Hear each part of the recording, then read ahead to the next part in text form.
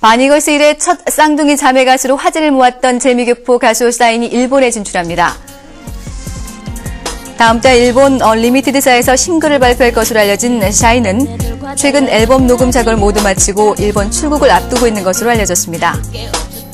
지난해 1월 Too Late로 데뷔한 샤인은 뛰어난 가창력과 작사, 작곡 능력에 연주 실력까지 갖춘 실력파로 그동안 가요계 관계자들의 주목을 받아왔습니다. 지난해 말 MBC 라이벌에 출연해 숨은 끼를 보여주기도 한 샤이는 올여름에 국내에서 2집을 발표하고 1집과는 전혀 다른 이미지로 다시 한번 인기몰이에 나서기 위해서 준비 중인 것으로 알려졌습니다.